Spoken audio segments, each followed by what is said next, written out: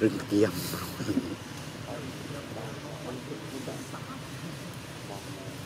bị môn nữa nha mà ó như vậy đó.